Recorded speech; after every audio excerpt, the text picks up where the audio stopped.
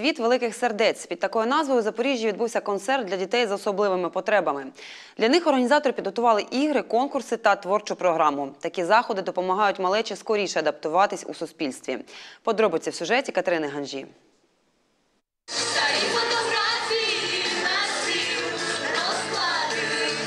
Пісні Скрябіна лунають у місцевому будинку культури. З такої композиції розпочинається концерт. Уся увага тут дітям з особливими потребами. Для них сьогодні ігри та конкурси.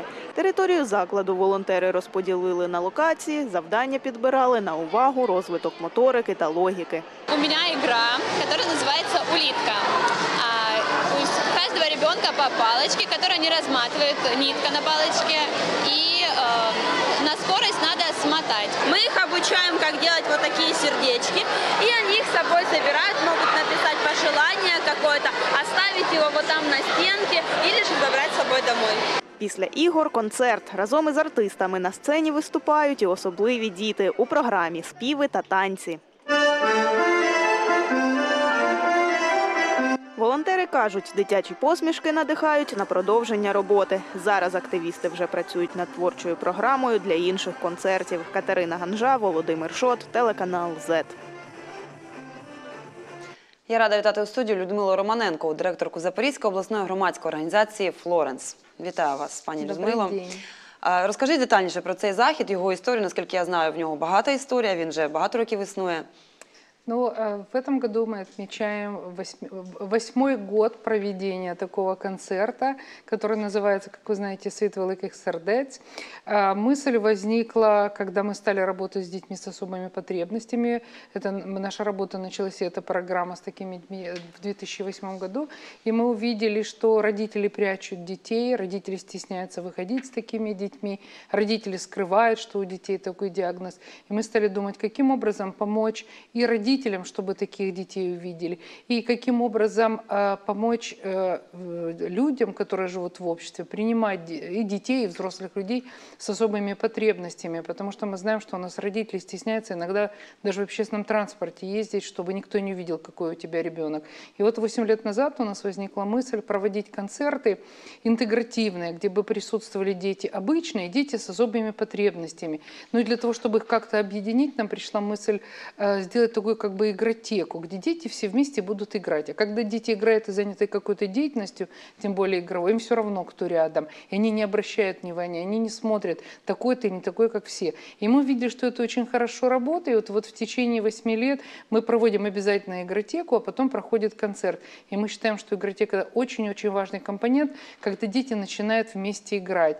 И действительно, дети очень радуются. Полчаса – это такое веселье. Мы обычно полчаса, 45 минут стараемся сделать. Вот в этом году был концерт.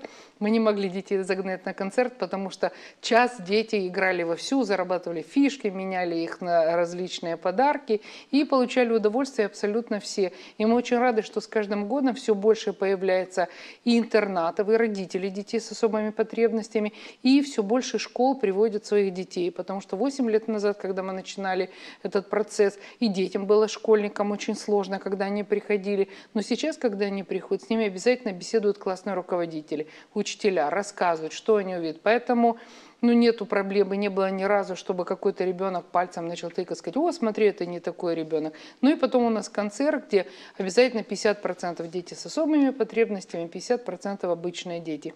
И мы очень часто слышим в зале друг друга дети толкают, а кто тут, кто тут не такой? Потому что иногда трудно даже понять, потому что дети талантливые, очень здорово выступают и радуются все. То есть мы очень рады, что есть возможность раз в году сделать такой праздник нашей организации. Е, Ви співпрацюєте з якимись конкретними навчальними закладами, чи просто запрошуєте усіх до Ну, себе? поскольку мы уже существуем с 2004 года, у нас очень много появилось друзей, и у нас друзья как э, в системе школьного образования, так и в системе интернатов, социальных служб. Поэтому у нас есть свои уже друзья с многолетним стажем. Мы сотрудничаем с целым рядом интернатов. В этом году у нас прибыли были и интернаты, и общественные организации, где есть дети с особыми потребностями. Это э, Кировский интернат для де- детское отделение Дома Дома инвалидов. Изумительно. Девочки выступали. Это школа-интернат Джерело, где у нас э, обучаются дети с синдромом Дауна.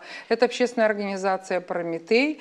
Это дет- детский центр. Это Коммунаровский территориальный центр.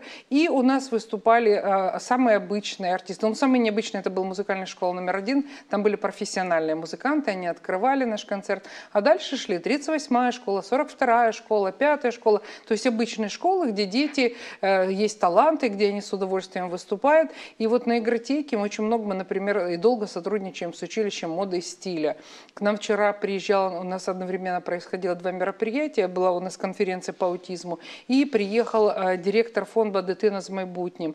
Это организация, которая занимается э, детьми с аутизмом из Киева, они приехали. И она с удовольствием участвовала, ей косы заплели и сделали, и она с нами прыгала, и вместе с Запорожским вектором есть там группа Angels, она вместе с ними танцевала, она говорит, я вообще такое не видела, это так замечательно и здорово, мы в Киеве не делаем такое. Вот ей очень понравилось, она говорит, это замечательная мысль, когда все вместе участвуют, прыгала вместе со всеми. Да. Наскільки взагалі важливо для е, здорових дітей та дітле- дітей з особливими потребами отак от е, спілкуватись частіше? От, Мне кажется, особливо, это на- напевно, для очень, особливих дітей, так? Очень Це- важно, потому что у детей в интернатах нет возможности часто их вывести куда-то на мероприятия. Они приезжают очень-очень рады.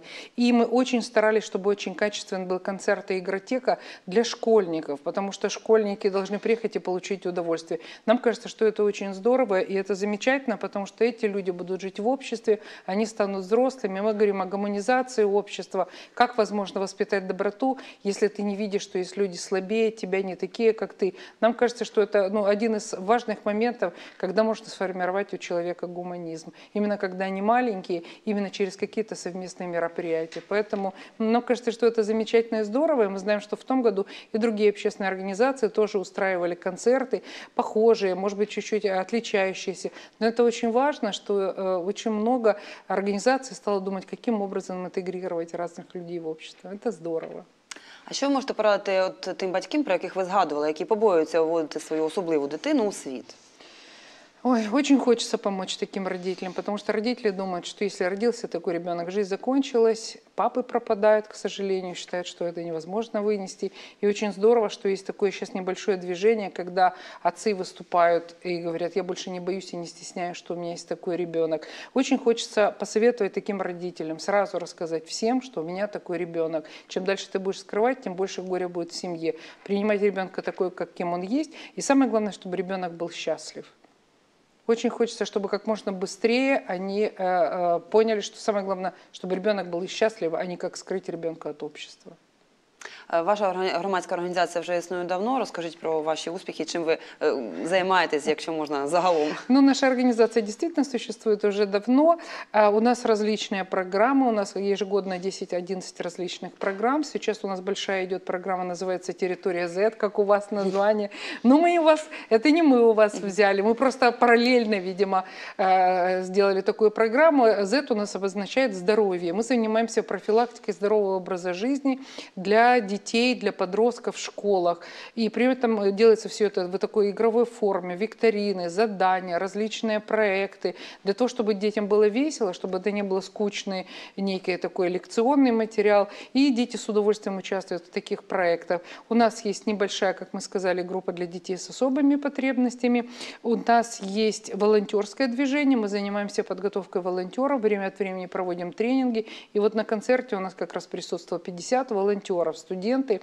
Многие из них будущие социальные педагоги, психологи, которые с удовольствием пришли и участвовали в таком мероприятии. У нас есть обучение специалистов, э, которые работают уже непосредственно в социальной сфере. Нам очень хочется помочь их поддержать, потому что им не просто совсем. И с прошлого года у нас очень такая необычная программа есть, которая называется «Я красивая» для людей пожилого возраста, для женщин, которым мы помогаем быть красивыми как внутри, так и снаружи. И мы не ожидали, что это привлечет такое большое внимание женщин пожилого возраста. То есть у нас прям лист ожидания, да, разные программы.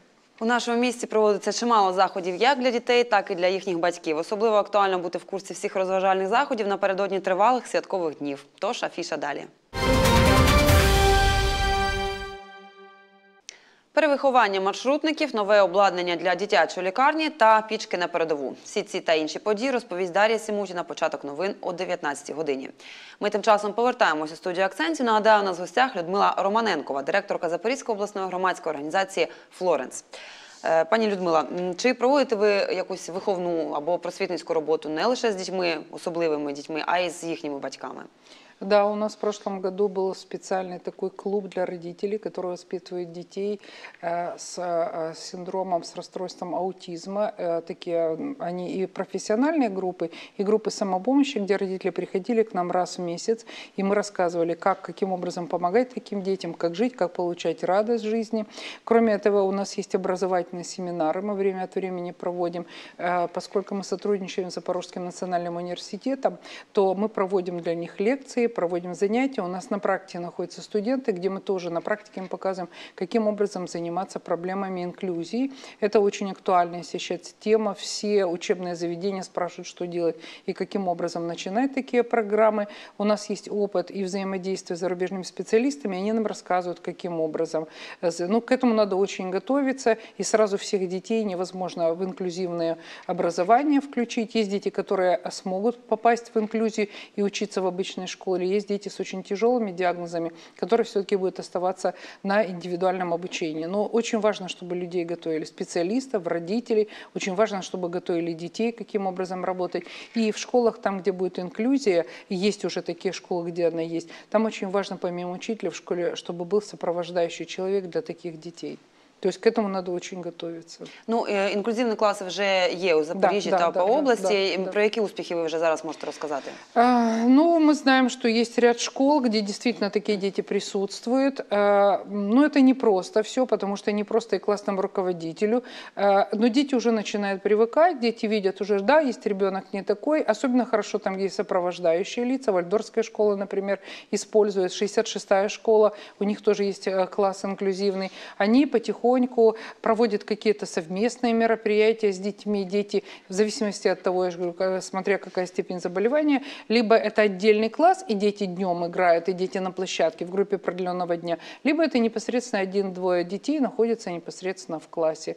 Ну, гуманизм у детей формируется, дети понимают, что есть разные дети, не все могут сидеть, не все могут целый урок высидеть и отвечать сразу на вопрос. Это достаточно длительный процесс. В Европе на это ушло лет 40, так что за год, за два такие вещи сделать нельзя, но очень важно, что э, такие вещи уже делаются. Да. А з якими захворюваннями діти не можуть відвідувати інклюзивні класи? Если тяжелая форма аутизма, предположим, э, потом у нас есть э, дети э, с церебральным параличом, которым просто из-за физического пространства трудно попасть в школу. Классы проходят уроки на разных этажах, а школы не приспособлены для того, чтобы детей э, передвигать на э, колясочных средствах. Вот они физически не могут, но очень много детей с церебральным параличом, параличом они с сохранным интеллектом, поэтому для них очень хорошо э, школьная система бы подходила, если физическое пространство будет позволять. А ця проблема з е, власне з пересуванням школою, вона буде якось ви- вирішуватися? Чи Ну, є к якісь сожалению, проекти не в цьому плані? Мы, к сожалению, не имеем отношения к самой системе можливо, ви знаєте про образования, якісь, е, но мы знаем, что это очень интересует людей. Действительно, все учебные заведения отк- открыты к тому, чтобы посмотреть, каким образом открыть двери школ для разных детей. Мне кажется, это замечательно и здорово, но при этом нельзя сразу закрыть все интернаты. Сейчас идет идея. Давайте все закроем. Но нельзя, не создав ничего нового, закрыть старые интернаты. Все равно очень много делают и делают про- и продолжают делать интернаты для разных детей. То есть нельзя отрицать. А з якими організаціями ви спів- співпрацюєте? Ваша громадська організація? Ну, мы работаем с городской службой социальной помощи, мы работаем со службами семьи, мы работаем с многими общественными организациями, которые занимаются детьми с особыми потребностями. Вот в этом году мы стали работать с Красным Крестом. У них, оказывается, очень интересные программы, непосредственно не связанные только а, с меди- с оказанием медицинской помощи. Очень весело, очень интересно. Много и государственные, и общественные организации. И если э, лет 10 назад в школу сложно было попасть, потому что общественная организация рассматривалась как нечто, ну, не совсем понятное, скажем, то теперь все структуры взаимодействуют государственные с общественными организациями с удовольствием. Е, Де ви та ваші фахівці е, берете новий досвід? Можливо, якісь майстер-класи, семінари, в яких ви берете участь? Ну, э, у нас сотрудники, э, которые работают на полный рабочий день и на полный рабочий день, имеют научные степени, бывшие преподаватели университета, а, проходят обучение за рубежом. Мы сотрудничаем с несколькими зарубежными организациями. Вначале мы сотрудничали с ними в рамках Национального университета, сейчас сотрудничаем и создали программу детей с особыми потребностями. Именно после того, как мы сотрудничали с ними в университете, теперь в нашей организации, то есть мы всегда получаем консультативную помощь, сопровождение, э, и когда они приезжают, они читают лекции и социальным службам, и городским, и университету, ну и, понятно, оказывают помощь общественным организациям и э, консультируют наших родителей, наших специалистов. Мы все время занимаемся повышением квалификации. Без этого ты же не можешь быть специалистом. Зараз ми перервемося на невеличку рекламну паузу, після чого знову повернемося в студію і продовжимо нашу розмову. Повертаємося у студію акцентів. Нагадаю, сьогодні спілкуємося з Людмилою Романенковою, директоркою обласної громадської організації Флоренс. Пані Людмила, от е, окрім того заходу, що ми бачили у сюжеті раніше, фе- фестиваль, е, ви ж напевно ще якісь заходи проводите. От розкажіть Ну, про них детальніше. Вчера у нас пе- получилось просто два мероприятия, два в одном. Вчера мы проводили совместно с Запорожским национальным университетом э, практическую конференцию по аутизму, где присутствовал, э, присутствовала организация «Дитина з майбутнім» из Киева и присутствовала э, посол «Аутизм Европа», специалист, который занимается проблемами аутизма и ездит по всей Украине и рассказывает родителям, каким образом, и специалистам, каким образом воспитывать детей с особыми потребностями, в данном случае с одной из тяжелых форм, это с аутизмом. И мы очень рады, как никогда был очень высокий запрос всех э, школ, очень большое количество территориальные центры, интернаты, медико-педагогические комиссии, э, психиатрическая больница. Все с удовольствием приехали для того, чтобы послушать э, специалиста, каким образом работать с детьми с аутизмом. И в этом году действительно было очень много людей, 240 специалистов приехало, чтобы послушать